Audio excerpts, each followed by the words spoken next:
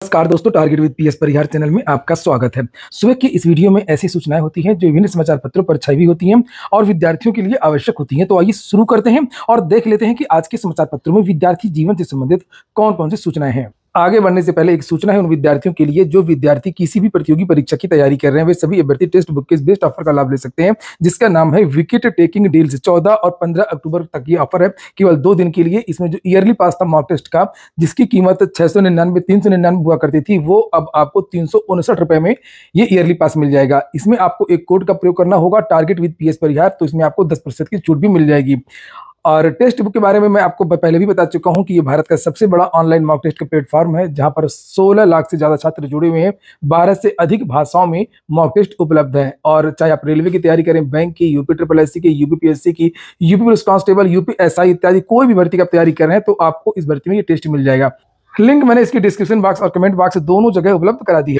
चलिए, शुरू करते हैं। और सबसे जो पहली सूचना है, वो नई नियुक्ति तक रिटायर्ड शिक्षक पढ़ाएँगे। सीएम और लिखा है कि मुख्यमंत्री योगी आदित्यनाथ ने कहा है कि जब तक नए शिक्षकों की नियुक्ति न हो जाए, तब तक सेवानिवृत्त शिक्षकों से ही सेवाएँ ली जाए, उन्हें एक तय मानदेय दिया जाए। तो यहाँ पर बस मानदेय का खेल और संविदा का खेल, बस यही मामला है। और सीएम ये भी तो कह सकते थे कि नई नियुक्ति रिटायरमेंट के पहले पहले नई नियुक्ति हो जानी चाहिए। इसकी प्रक्रिया पहले ही शुरू कर देनी चाहिए कि कितने अध्यापक सेवानिवृत्त होने वाले हैं। एक दो साल आगे का डाटा निकाल करके वो भर्ती पहले ही कंप्लीट की जा सकती है।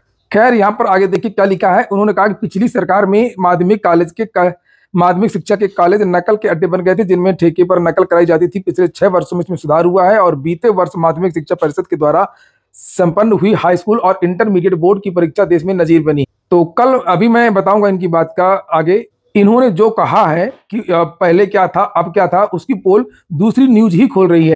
वास्तव में कल मुख्यमंत्री एक कार्यक्रम में यूपीपीएससी द्वारा चयनित छात्रों को नियुक्ति पत्र दे रहे थे और उसमें ये बातें कही गई। और वहीं पर ये आज की खबर है, उत्तर प्रदेश की भर्तियों के भ्रष्टाचार की।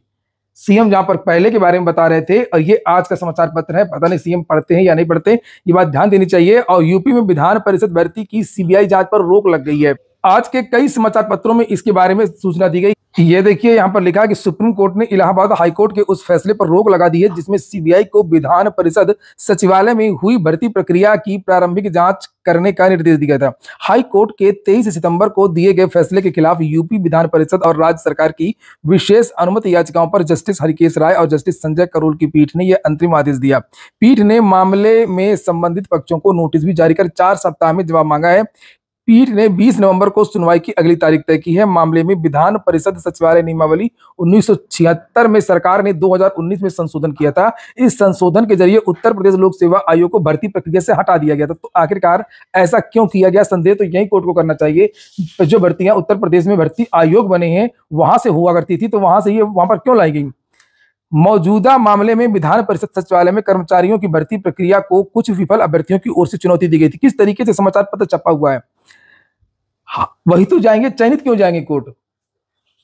हाईकोर्ट की एकल पीठ ने मामले को खारिज कर दिया था, लेकिन जब मामला खंडपीठ के समक्ष अपील में गया तो उसने विधानसभा, विधान परिषद के लिए, कर्मचारियों के लिए भर्ती प्रक्रिया की निष्पक्षता पर संदेह व्यक्त किया। इसके बाद हाईकोर्ट की खंडपीठ ने सीबीआई को इस मामले की प्रारंभिक जाँच करने का निर्देश दिया था।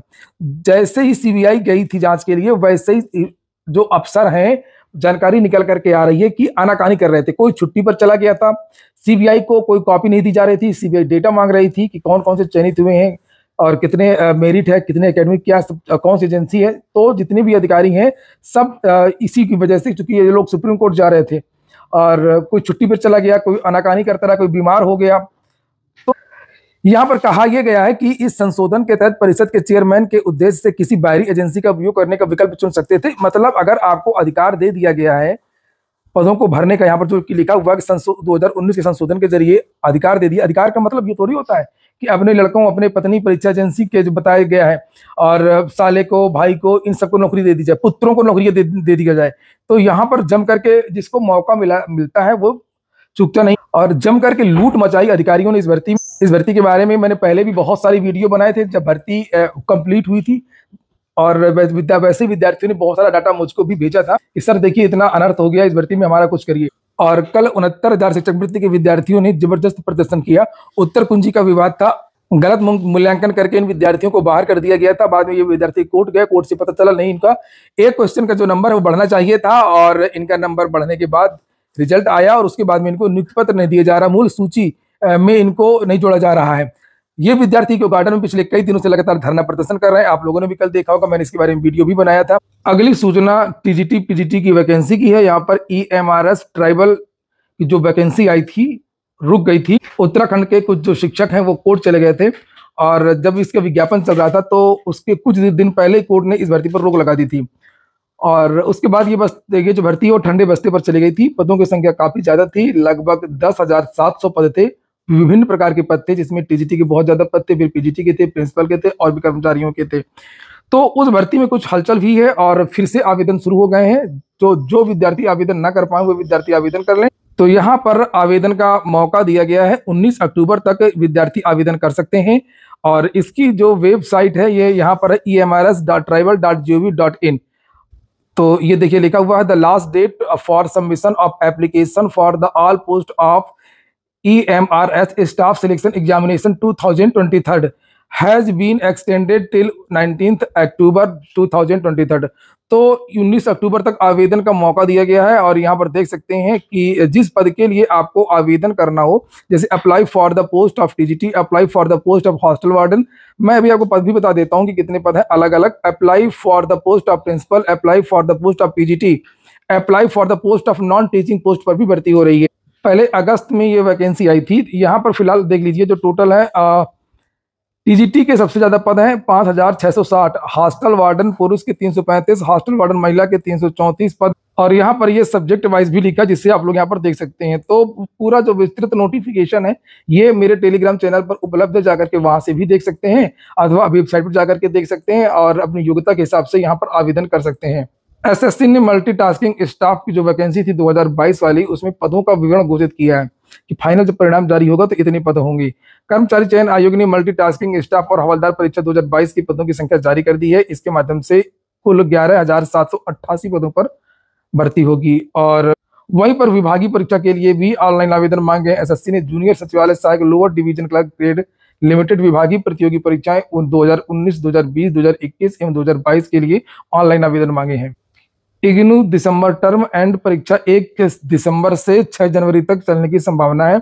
यूपीपीएससी ने एजीटीए प्राविधिक सहायक, जो वैकेंसी आई थी 2013 है उसके जो शेष विद्यार्थी थे, उनका भी विवरण जारी किया है और आवेदन भी मांगे। यहाँ पर लिखा, कृषि प्राविधिक सहायक भर्ती मामले में प्रतियोगी छात्रों के बार बार धरना प्रदर्शन को देखते हुए उत्तर प्रदेश लोक सेवा आयोग ने शुक्रवार को पंद्रह अभ्यर्थियों का विवरण वेबसाइट पर जारी कर दिया। उत्तर प्रदेश धन सेवा चयन आयोग और कृषि निदेशालय को सूची भी भेज दी है।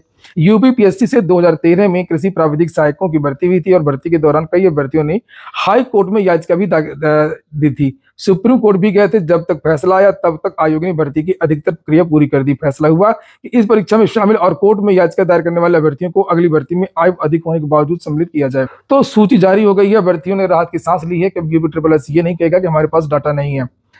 बकायदा इस तरीके से भी नोटिस जारी की है। ये देख सकते हैं आप लोग, विज्ञप्ति जारी की है उत्तर प्रदेश लोक सेवा आयोग ने और इसमें पंद्रह दिन का मौका दिया गया विद्यार्थियों को। ये जो सूची जारी की गई है, इसमें किसी विद्यार्थी को कोई आपत्ति तो नहीं है।